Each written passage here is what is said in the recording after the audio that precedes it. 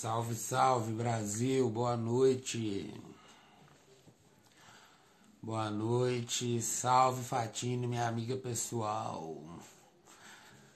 Logo mais, em breve, em instantes, vamos iniciar uma live com o grupo de pensamento afrodescendente, uma organização equatoriana que há anos desenvolve um trabalho é, em luta pela igualdade racial, pela eliminação da discriminação no Equador e no continente latino-americano. É, antes de iniciar essa live né, sobre esse tema específico, que é o tema do enfrentamento à desigualdade, à discriminação racial, quero mandar um salve e desejar muitas, as melhores energias possíveis para a galera para os meus amigos e para quem também não é meu amigo, porque nós estamos passando um momento de transformação global que nos exige muita disciplina, muita responsabilidade coletiva, um momento que nos exige uma dedicação para além do, de nós, assim. É, essa situação da pandemia do coronavírus que afetou em escala global a todos nós é algo muito sério, é algo que ainda de fato não há solução. É, né, no caso, vacina ainda não existe e de imediato a única saída é de fato seguir as recomendações e do isolamento social, do não contato físico, para que a gente não é, dê, aumente a escala da proliferação do vírus. Então todo cuidado é pouco. E eu já estou há uma semana na minha casa e não é fácil, eu estava de férias do trabalho. Minhas férias terminariam na próxima semana, mas pelo visto ainda está tudo muito incerto, né? Entendendo que a questão da quarentena é algo para poucos. Então vamos nos responsabilizar e compreender para lutar também né, para que outras pessoas, outros grupos sociais tenham acesso, é, é, sejam respaldados né, pela lei para que possam de fato cumprir a quarentena. A situação nas periferias não é simples como nos estratos sociais mais abastados, então muito importante que a gente se preocupe com isso.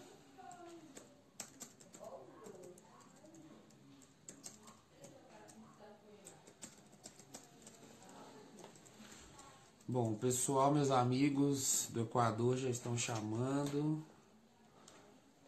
Ah, RP Afro, deixa eu. Paneiro, Mifones. Gente, nós vamos trocar ideia em espanhol, mas vamos falar. Não, beleza? Então é isso. Hoje nós vamos trocar ideia com a galera do RP Afro. Grupo Afrodescendente, Grupo pelo Pensamento Afrodescendente, direto do Equador. Grandes amigos que eu fiz na luta antirracista, caminhando pelo continente latino-americano. É... Também ressaltar é, a importância de ampliar esse debate para as periferias, né? Eu vivo em Belo Horizonte, a capital de Minas Gerais, e ontem, sexta-feira, por exemplo, de ontem, início da noite até hoje de manhã, uh, o abastecimento de água na minha região foi cortado. Então, pensem como manter princípios básicos de saúde, as recomendações é, num território onde não há abastecimento de água. A discrepância, a diferença de acesso é maior do que vocês podem imaginar. Esse debate de enfrentamento ao coronavírus, dos cuidados, né, para além do álcool gel, mas que é lavar as mãos com sabão, evitar o contato físico Aí estamos, as periferias não. Estamos tratando ya de establecer la conexión. Eh, les vamos a poner, hola Migles, estamos ya para, para poder iniciar la intervención y aportes. Hola amigos, buenas noches. ¿Me escuchan bien? Perfecto. Sí, eh, déjenme presentarles. Él es Dupenchi, es un activista, activista político, activista de diversidad sexogenéricas. Eh, una forma diferente de tomar acciones respecto a algunas problemáticas sociales. Es también parte de, espero no equivocarme, también parte de Gabinetona, que es una iniciativa que se debería replicar en algunos otros países de América Latina. Muy interesante conocer este tema, pero sobre todo un activista de la juventud política preta, de la juventud política negra en Belo Horizonte. Así que bienvenido, amigo. Te escuchamos. Oh, muchas gracias, Alejandro, por la invitación. Muchas gracias, Vero. Extraño encontrar ustedes por Latinoamérica en nuestras luchas antiracistas, por la igualdad de género, la igualdad generacional. Eh, estoy muy feliz en poder hablar con ustedes en un momento tan delicado, tan crítico en nuestro continente, ¿sí? Eh, además, por hoy ser el día de enfrentamiento a la discriminación racial el Día Internacional. Un día que trae a nosotros muchas reflexiones posibles porque para además en pensar la crisis sanitaria que estamos viviendo, esta crisis también afecta a los mayores y más bajos sectores de nuestra sociedad. En pensar que la discriminación racial tiene múltiples facetas, múltiples expresiones, como por ejemplo la discriminación racial dirigida a las mujeres negras, a los, las personas transexuales negras, también los hombres gays, negros, pretos, tiene una diferente, tiene un, un, diferente impacto sobre sus vidas y sobre la forma de organización social. Uh, en pensar que en los procesos de trabajo, por ejemplo, las mujeres negras tienen un salario 75% diferente de un hombre blanco. Pensar también que las personas transexuales son las personas más asesinadas en la comunidad LGBT y que Brasil, mi país, es un gran líder infeliz en los asesinatos de personas transexuales. Es muy serio. Pensar que la discriminación racial trae a nosotras eh, muchos malos impactos, como por ejemplo los hombres negros impactados por el machismo en intersección con racismo. Los niños negros pretos crecen con un paradigma de masculinidad tóxica naturalizado. Sí, ¿me escuchan, Alejandro?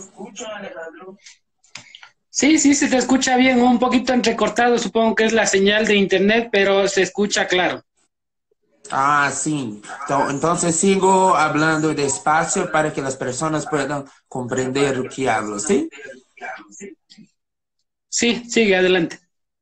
Sí, entonces yo creo que en, el día de hoy, el día de enfrentamiento a la internacional de la discriminación racial, es muy importante que los hombres pretos se preocupen en discutir las masculinidades, como las formas de masculinidad impactan eh, en intersección con la cuestión de raza.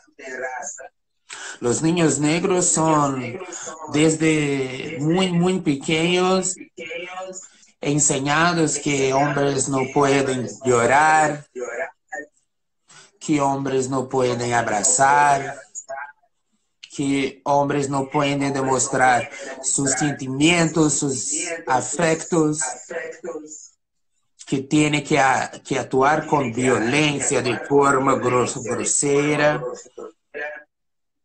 Los niños pretos, desde muy pequeños, no son enseñados a manifestar sus sentimientos, porque eso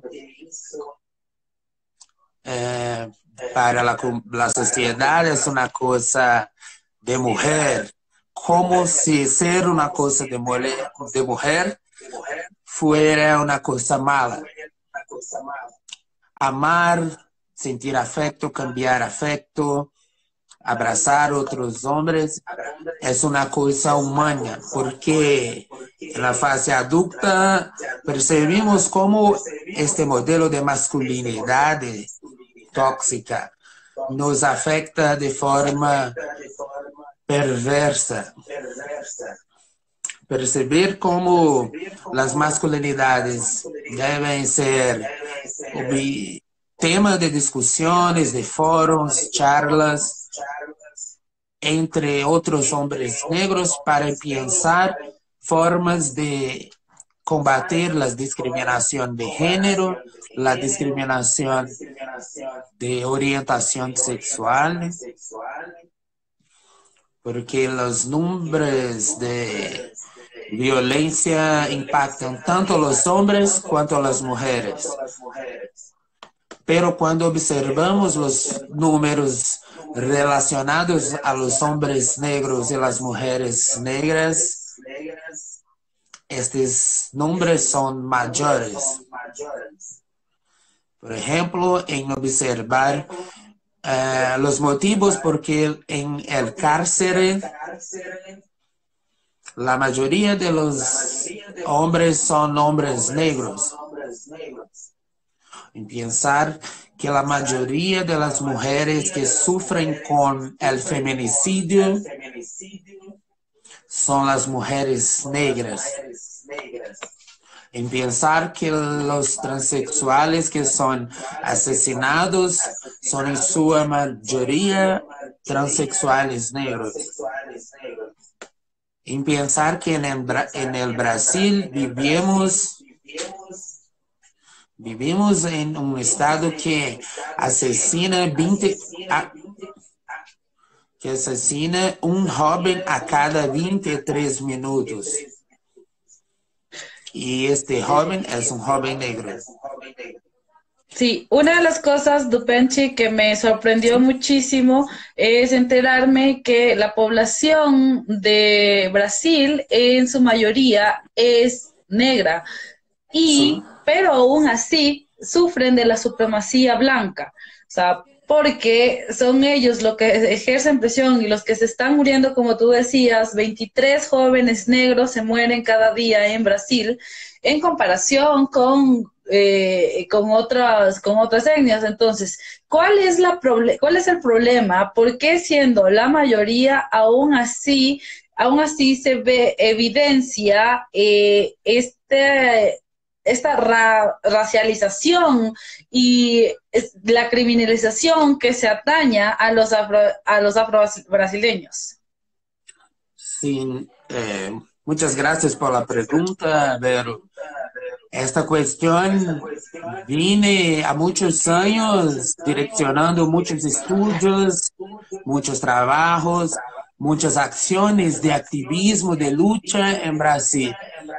Brasil se fue el último país a eliminar la esclavitud en nuestro continente. Entonces, este dato es muy importante para comprender cómo la constitución de nuestro país, de nuestro estado, se fundó, se, se vació en el racismo y en el, la segregación racial. Entonces, eh, en Brasil, la constitución de nuestro estado y nuestras ciudades se fue por forma de la segregación racial o en los territorios pobres que no tienen acceso a derechos, a, las, a los derechos básicos como salud, educación, trabajo digno. Están las poblaciones negras, los grupos étnicos negros indígenas. Y la, en, el, en los grandes centros están las poblaciones blancas, donde las políticas públicas funcionan normalmente. Entonces, se fue creado la militarización de los territorios negros, la ausencia planeada de las políticas públicas en los territorios periféricos y la criminalización de los cuerpos negros jóvenes es una herencia de, del el Estado colonial. La policía sigue encarcerando a los jóvenes negros. Simplemente por ser negros. Y por fin, las personas negras en Brasil en la escuela no tuvieron los ensinamientos sobre las, su origen racial, sobre la verdadera historia de la esclavitud entonces muchas personas en Brasil no reivindican este derecho y se someten a esta situación.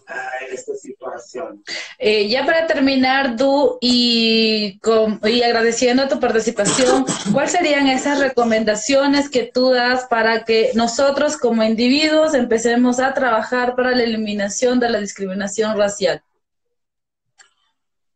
Pero yo creo mucho que la primera cosa que debe ser hecha es la cultivación, la cultura del sentimiento de empatía. Empatía es una cosa que tiene faltado que no se hace cotidianamente para las personas. Después de la empatía, yo creo mucho que las personas negras, las mujeres, los jóvenes, las personas indígenas, las personas transexuales, tienen cada vez más que se implicar en los procesos de construcción de nuestra sociedad. Entonces yo creo que las políticas públicas pueden hacer un, una gran diferencia para superación de la discriminación racial, no, no solo en Brasil, pero en todo nuestro continente latinoamericano, ¿sí? Porque muchas personas no saben que além de Brasil, em todos os países, como Colômbia, Venezuela, Bolívia, Equador, tem uma população negra. Então, eu creio que a informação, a formação, a criação do sentimento de empatia, sobretudo, a ocupación de los espacios de tomada de decisión por personas que nunca estuvieron en estos lugares. Yo creo que estas políticas públicas pueden de forma muy, muy amplia salvar vidas y concientizar la población desde la escuela hasta la universidad, en los pueblos, en las calles. Pero la lucha es grande, es larga y nosotros seguimos en la lucha. En la lucha eh, siempre, hermano. Dupenchi, queremos darte muchas gracias a ti por aceptar nuestra invitación una vez más. Gracias a ti por ser un gran amigo de esta casa que es el GPA. O sea, yo agradezco mucho la invitación. Siempre que puedas, estoy disponible, estuve disponible, quiero contribuir porque yo creo mucho que la colaboración entre nosotros también es una gran potencia para superar desigualdades y fomentar la colaboración entre nosotros que por mucho tiempo estuvimos lejos, separados por las cuestiones coloniales, pero hoy tenemos herramientas importantes que posibilitan nuestra conexión constante para cambiar conocimiento y generar concientización. Y también quiero parabenizar a ustedes por el bellísimo y gran trabajo que el grupo GPA tiene hecho en Ecuador. Aquí de Brasil yo tengo acompañado por las redes y me siento encantado en percibir que yo y mis compañeros en Brasil no estamos solos en la lucha por por la libertad, por la equidad, por una sociedad mejor. Muchas gracias pelo bueno trabajo que tiene desenvolvido. Muchas gracias, por todo, por todo su cariño. Eh, realmente es muy grato. Todavía seguimos aquí con nuestros panelistas. Bueno, Levei um end aqui, mas é isso. ah, pessoal, pois é, eu estava conversando agora com o grupo do pensamento afrodescendente do Equador, parceiros que eu conheci em 2018 na luta antirracista na Bienal Latino-Americana e Caribenha na Colômbia. Pessoas que fazem um trabalho, o tão dito trabalho de base, né, que as pessoas dizem por aí, a gente faz desde quando a gente nasceu nos nossos territórios. É, né, Para a gente não é novidade. E eles fazem um trabalho de conscientização e de luta por política pública que inclua a população negra nos processos de decisão no Equador e em outros países da América Latina também. Não diferente do que a gente tem feito aqui no Brasil. É... Bom, Quero dizer para vocês que ao longo dessa semana a gente vai continuar atento ao que está acontecendo, é, isolado, gozando do que deveria ser um direito universal, que se, é, se manifesta como um privilégio, porque ainda em muito, na maioria das cidades, as pessoas que residem nas periferias não têm esse direito garantido e têm saído para trabalhar, pegando busão, pegando metrô, se aglomerando em espaços por uma questão única e exclusivamente de sobrevivência. É importante que a gente observe isso e exija do poder público medidas que garantam minimamente a sobrevivência digna dessas pessoas é, durante esse período, né? Que, pelo que tudo indica, será um período longo. Mas é importante pensar, né? Como fazer quarentena morando na favela, como fazer isolamento social morando num barraco pequeno, numa família gigantesca, como é, higienizar as mãos a todo momento, se na quebrada o fornecimento de água de fato é interrompido, como aqui na minha região ontem, desde o final da tarde até hoje pela manhã, a água foi cortada como tomar os cuidados básicos se na quebrada também, no posto de saúde, ou nos hospitais, ou nas UPAs, nas unidades de pronto atendimento, não tem o álcool em gel que está valendo ouro. Como desinfetar as mãos sempre com álcool em gel, sendo que nas grandes redes farmacêuticas o álcool em gel está custando quase 50 reais. Quase 50 reais. Isso é, isso é crime. Isso devia eu não sei, cadê o PROCON? Pois é, o, o, essas empresas deveriam ser autuadas e responsabilizadas, porque numa situação, numa pandemia de escala global, pensando que a maioria, a maior parte da população brasileira vive em situação de vulnerabilidade, uma rede de farmácias ou várias vendem, primeiro, que não tem em todos os lugares, e os lugares que tem vendem o álcool em gel, por 50 reais, que isso, é um absurdo, é desumano, é perceber como é, a lógica capitalista, o lucro acima de qualquer coisa impera. Mas sigamos atentos e lutando contra isso. Gente, essa live aconteceu por um convite né, de uns amigos do grupo Pensamento Afrodescendente do Equador. Então, quem chegou aí no meio e viu conversando espanhol, não se assuste porque eles não falam português, mas espero que vocês tenham compreendido. Agradeço quem colou na banca. E eu não sei, eu quero aproveitar esse momento. Será que tem alguém aí que quer participar dessa chamada comigo para trocar uma ideia? Dar um papo de futuro aí sobre o que está rolando? Será que tem alguém? Eu vou mandar o um convite para alguém que vai que alguém aceita. Manda um convite aí, gente, que nós vamos trocar uma ideia. É isso, aqui é desse naipe no improviso. E acho que eu vou chamar meu irmão aqui. Será que ele está online ainda?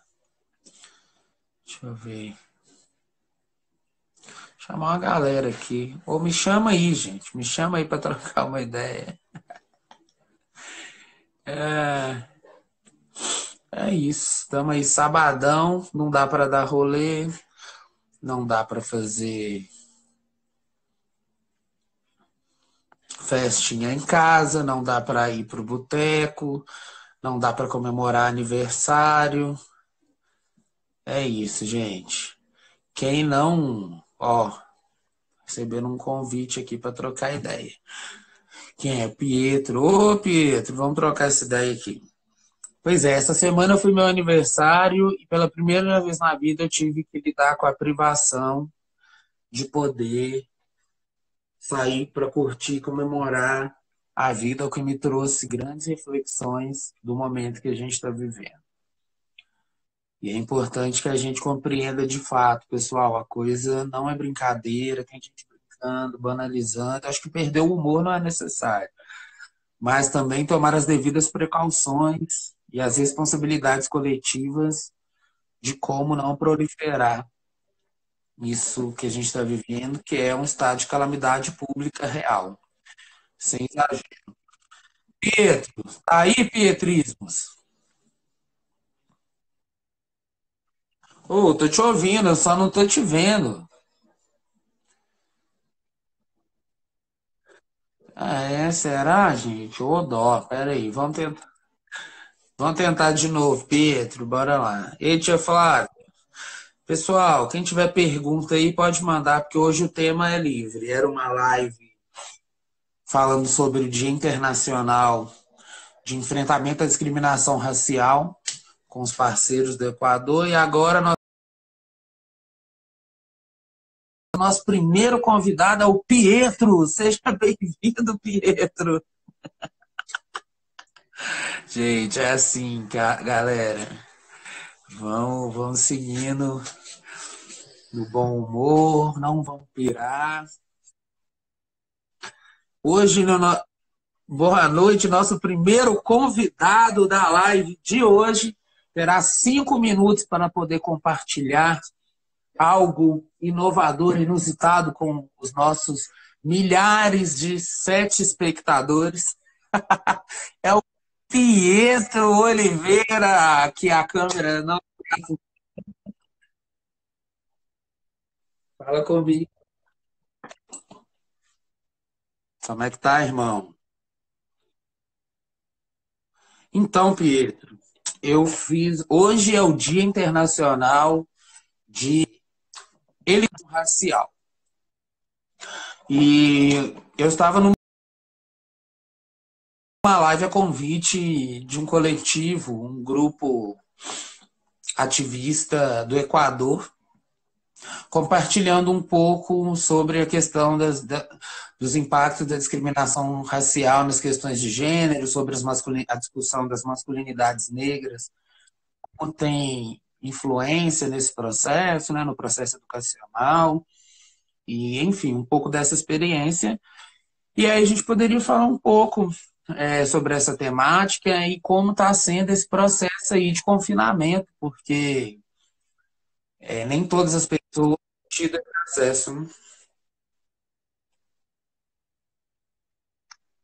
Ah, então Então vocês estão. E aqui a Adri mandou que a sua voz não tá indo. Ô, Pietro, que, que, que você tá arrumando com essa, essa câmera, com essa porra desse celular, Pietro?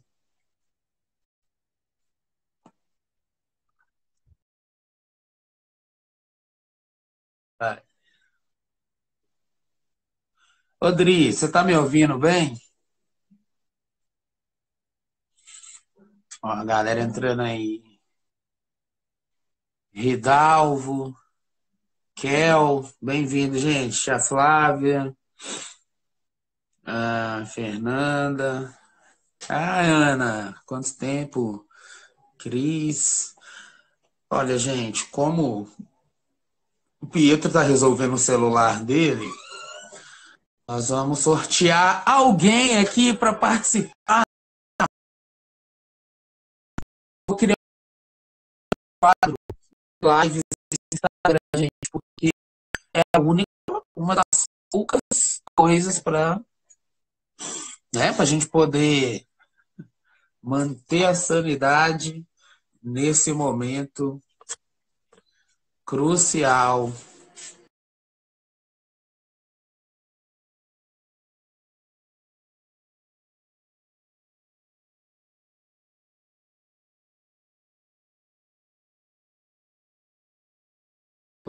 todo mundo, porque justamente pelas questões de desigualdade e que também tem impacto de discriminação racial.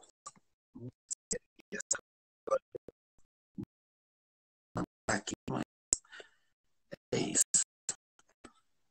Gente, enquanto tá, eu tô assim, gente liberado obrigado. Ah. Melhorou o sinal? E, olha, o negócio tá. Hoje está uma luta, gente, mas vai ter que ir torto mesmo assim. O Pietro tá chamando de novo. Se o Pietro não não rolar, deixa eu ver quem mais tá chamando aqui. Pietro, e o Emerson Caetano. Vou atender o Emerson Caetano aqui no meu programa. Gente, sempre quis falar isso. Aqui no meu programa. Eu não sei se eu conheço o Emerson. É isso. Melhorou o sinal aí, galera? Oi. Olá, boa noite, Emerson. Como você boa vai, Boa noite, tudo Como estão as coisas aí em Minas? Uai, aqui tá como na China. Péssimo. é isso. Eu sou do Rio de Janeiro, é, mais precisamente da Baixada Fluminense. Uhum. E aí eu tô, tô acompanhando como é que tá as coisas. As pessoas estão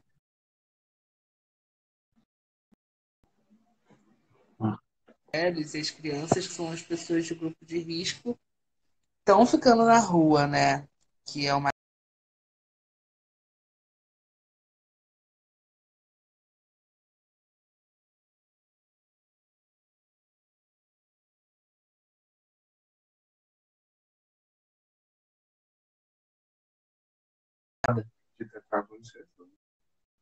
Ai, o meu também?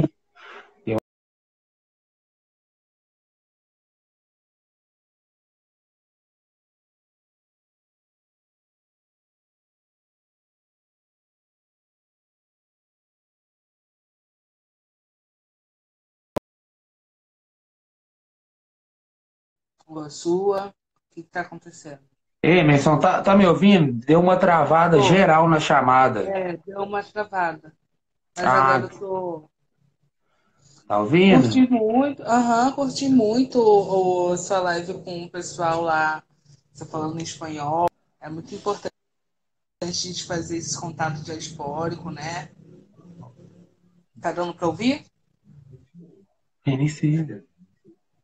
Então, tá falhando o, Emerson. Nossa, pois é. Não, eu ouvi fragmentos, né? Você dizendo. Você disse que é da, da Baixada Fluminense, no Rio de Janeiro, uhum. é, que acompanhou a live também com o pessoal do Equador, do grupo Pensamento é, Afrodescendente. É, eu ouvi poucas coisas, assim, a internet está péssima. Pois é, inclusive fica aí, né, gente? Um, uma dica aí para as operadoras de telefonia pela madrugada, né? Se não bastasse estar tá isolado, né? agora não tem internet, pagando caro, inclusive, gente. Ah, é complicado. Vamos desconfiar e melhorar a qualidade desse serviço, porque as pessoas não podem surtar, ninguém vai surtar, porque a gente vai fazer várias lives informativas, né, Emerson? Sim. Trocar. Ah, agora tá melhor, assim, parece que tá melhor.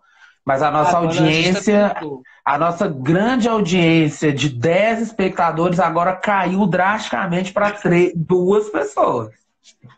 Eu vou chamar algumas pessoas aqui do meu. Isso, chama, vamos chamar esse povo, vamos chamar esse povo para trocar ideia. Mas, Emerson, agora é, voltando ao tema, é, pois é, a gente não se conhece pessoalmente, você me conhece a é, partir de, de quem, assim?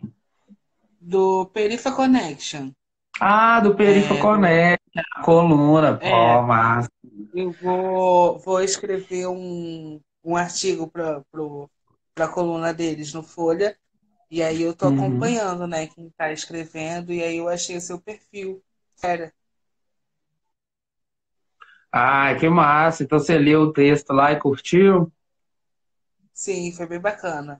Achei bem bacana. Ah, que bom então, cara. E bom saber que você vai colaborar sobre... com a coluna também. Oi? Que bom saber que você também vai colaborar com a coluna. Você também é. vai colaborar com a coluna na Folha, né? É, eu vou, vou abrir. É a inovação periférica. E aí eu vou, eu sou de relações internacionais, né?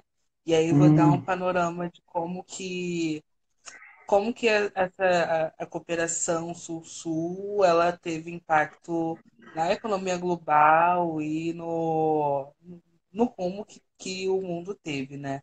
Na, na época que os países subalterno, os países do sul global estavam ganhando um pouco mais de autonomia e como isso influenciou para melhor o mundo. E aí eu vou falar, vou falar sobre isso, vou, mas lógico, não não só sobre isso, né? vou falar sobre como a periferia do local global ela influencia para a inovação mundial, que sem a periferia não existe inovação, né? E aí é esse o meu ponto do, da matéria. Nossa, que ótimo, super relevante. Estou ansioso para poder ler, é, porque é isso, assim, né? Periferia, a, o termo periferia foi estigmatizado negativamente por muitos anos e hoje perceber potências, né? Assim como o próprio movimento, a atuação da galera do Perifa Connection, usando a comunicação, as ferramentas de comunicação para ressignificar isso, dentre várias outras experiências, né? Eu poderia ficar aqui horas falando, citando pessoas, mas bem massa sacar, porque nesses nossos territórios, né? Eu também vivo numa das maiores periferias aqui de Belo Horizonte, que tem uma configuração um pouco diferente do Rio de Janeiro. Mas, tanto que ontem aqui no meu bairro não tinha água. Tinha ontem até hoje de manhã. Você tem uma... como, como seguir as recomendações da OMS sem ter água em casa. É, são desafios que na quebrada a gente acaba superando e criando formas inovadoras, né, Emerson, de, uhum. de seguir o baile, né, cara? E tem várias iniciativas de inovação política, inovação econômica, inovação social que acontecem nas quebradas e que se tornam referências no mundo mas poucas pessoas sabem de onde surgiram, né? O funk é, um, é uma tecnologia social de elaboração coletiva que transforma né, os territórios de forma muito positiva.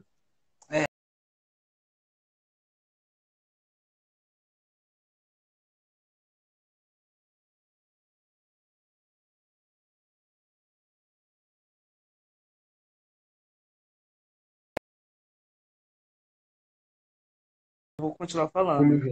A gente sempre ouve notícias da África, sempre aparece aí nos nossos vídeos. Como eu reiniciei lá, a internet no meu celular ainda não voltou. Ah. Não tô... Emerson, tá me ouvindo? Tô, tô te ouvindo. Tá me ouvindo? Agora eu tô te ouvindo. Desculpa, fala de novo. Então, porque nesse, nesse artigo sobre inovação das periferias, eu abordo falando como que a gente recebe, né? É, não sei se é pelos nossos algoritmos que a gente está sempre estudando África, mas a gente sempre recebe notícias de jovem africano que conseguiu resolver equação que nunca foi resolvida, a questão lá daquele filme do menino que inventou o vento, é, uhum. tudo isso né, que a gente tem como inovação mesmo, que a galera do norte, a galera do, dos países imperialistas vão nos nossos territórios para roubar as nossas ideias inovadoras, a gente está tentando né, fazer com que, com que pelo menos a gente seja reconhecido nessas nossas pequenas conquistas, nessas nossas pequenas. É, os nossos saberes mesmo, né? Reconhecimento é, é, é muito importante, sabe? E a gente é criador de tudo. E o que mais adoece a gente é exatamente isso, sabe? Que o povo preto nunca teve reconhecimento. E a gente está fazendo essa quebra, a gente está participando dessa quebra. Porque o branco não inventou nada, sabe? As pessoas brancas, o, o, o Ocidente, ele copiou praticamente as coisas mais relevantes, sabe? Que, que era da, da nossa cultura ancestral, né? Total, é. Um pouco disso. Que ótimo. Nossa, quando sai esse artigo próximo? Quando? Oi? Quando sai o artigo na, na, na coluna da Perifa Connection? Então, acho que vai sair no mês que vem no mês que vem, mas está dependendo do. Eu, eu, ainda não submeti para o Jefferson, por isso que eu não tinha nem que estar tá falando aqui agora, né? Olha, você está falando em primeira mão aqui. Você está falando em primeira mão no do Pente Recebe?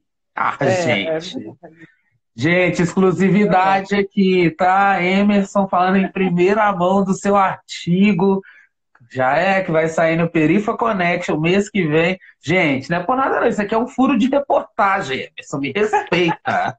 ah, é verdade. Respeita, eu querido. Não, por... não deveria estar falando, mas é porque eu tô tão.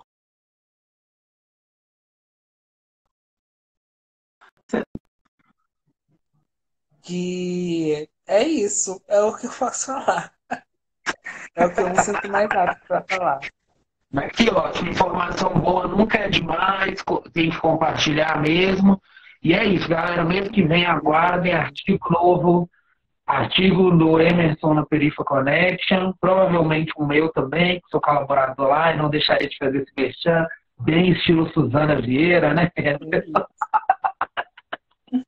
Mas a diferença, gente, que nós colaboramos com uma coluna que tem compromisso com a narrativa da quebrada, da periferia, da favela, da população negra de forma positiva, afirmativa e mostrando grandes feitos que os grandes meios de comunicação temem em visibilizar e a diferença maior de disputamos entre nós. É um espaço colaborativo, coletivo, onde a voz de pessoas pretas e periféricas se encontram a partir da sua diversidade, dos diferentes pontos de vista, para formar uma ideia ampliar uma ideia do que é periferia, do que é ser periferia e mostrar as grandes inovações, como o artigo do Emerson vai mostrar no próximo mês, que existem nos nossos territórios, mas que poucas pessoas têm conhecimento. Salve, Emerson. Prazer falar com você. Vou ver se eu consigo receber mais alguém aqui no do Pente Recebe. Gente, eu criei tá um bom, programa. Valeu. Que agora isso um beijão. Um beijo, Emerson. Obrigado, viu, querido? Tchau, valeu. Tchau, tchau. Até mais. E tchau, querido. Como que encerra? Encerra aí, Emerson. Sai aí, senão eu vou desligar tudo aqui. Isso, Emerson. Gente, vocês tiveram o prazer de escutar o Emerson Caetano da Baixada Fluminense, do Rio de Janeiro. E em primeira mão, gente, para quem não sabe, a gente acabou de criar um programa aqui no Instagram, do Pente Recebe. e eu não tô zoando, assim. Então, gente, se preparem, quero dizer as minhas aos meus parceiros do meu coletivo, que agora a gente tem um novo programa para fazer pauta. para fazer, para fazer um monte de coisa. Mas vai dar tudo certo. Quem mais quer trocar uma ideia? Ô, Ulisses, você tá aí? Chama aí, Ulisses, para trocar uma ideia. Vamos ver quem tá aqui nesse rolê. É isso, galera. Hoje no dia, olha, tem uma pessoa aqui que tá, eu tô vendo ela duas vezes aqui, ó. Uma pessoa que tá aqui assistindo e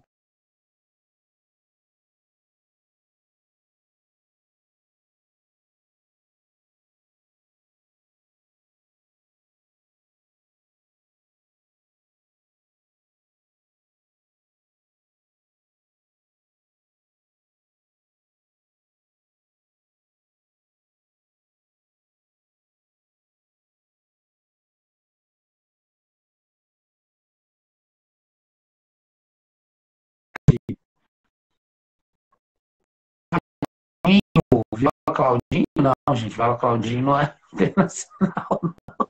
É. Ah, pessoal, só rindo mesmo, porque eu vou te falar, a quarentena não será fácil. Vamos buscar formas coletivas de nos acolher, de trocar. Salve, Léo! Salve!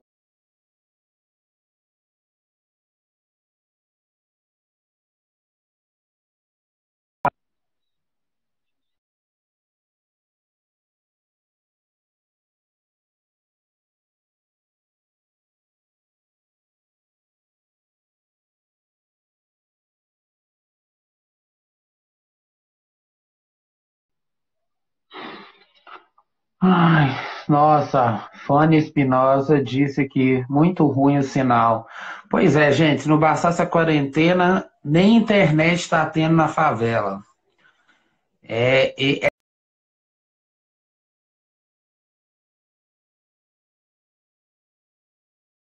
Esse é. Não tá tendo internet. Tá rolando aí pra você direito, Felipe? Nossa, gente, que ódio de quarentena e sem internet. Ah, não, muito abuso da Está online esse trem aqui. Gente, chama uma ideia, quem tá aqui.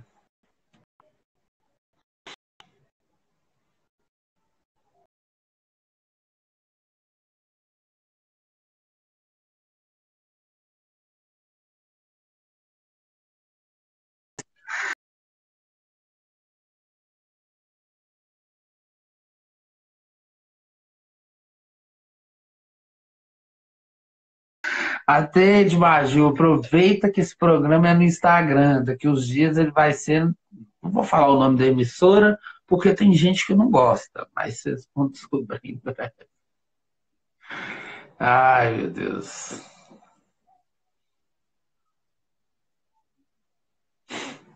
É isso, gente. Então nós vamos finalizar. O do Pente recebe hoje. E não estava na pauta, mas acabou acontecendo. E foi massa, pessoal. Então, nesse dia, pelo, pela eliminação, esse Dia Internacional pela Eliminação da Discriminação Racial, eu recomendo encarecidamente que cada um de nós, não só as pessoas negras, principalmente as pessoas brancas, desenvolvam um sentimento e a prática da empatia e transforme isso em ação, em ação real que possa somar com a redução das desigualdades, com o acesso a direitos básicos da população mais vulnerável, com a eliminação e a redução das violências racializadas direcionadas à população negra, que as pessoas reconheçam seus privilégios de raça, de classe, entendendo, as pessoas busquem entender como nesse período de reclusão compulsória para muitas pessoas, perceber que nem todas as pessoas têm esse direito garantido. Já é importante refletir sobre isso e depois que refletir, gente, porque a gente não pode ficar uma vida inteira refletindo, não, tá? É refletir durante um momento e passou aí dois dias, uma semana, pela madrugada, toma uma atitude, toma uma ação Sai, levanta a bunda da cadeira, menos discurso, mais ação, ação coletiva, né?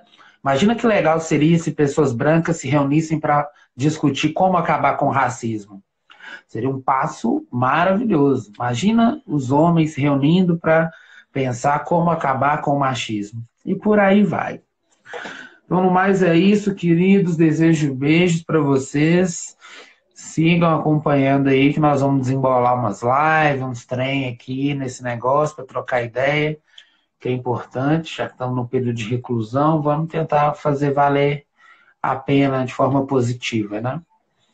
Me chamem para lives, me chamem para festas online, me chamem para seminários online, me chamem para tudo online, tá, gente? Porque é isso. Nós vamos ter que ficar assim durante 60 dias. Parece coisa de filme, mas bota o pezinho no chão que não é não, tá? É tudo verdade que está acontecendo.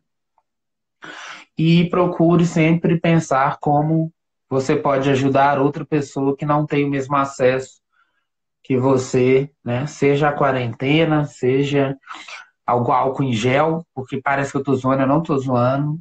O álcool em gel tá custando 50 reais aonde tem, porque nem tá achando mais. Mas existem outras coisas. Existe água e sabão, detergente, que também desinfetam. Que pelo, pelo menos em relação ao vírus, né, que tem uma, capa, uma camada lipídica, né, de gordura que o protege, o sabão dissolve, né? Então aquela coisa básica da vida é isso, assim. Beijos e vamos nos falando, gente. Bom sábado para vocês na festinha online que vocês vão curtir agora. É isso. Hasta luego, hermanos.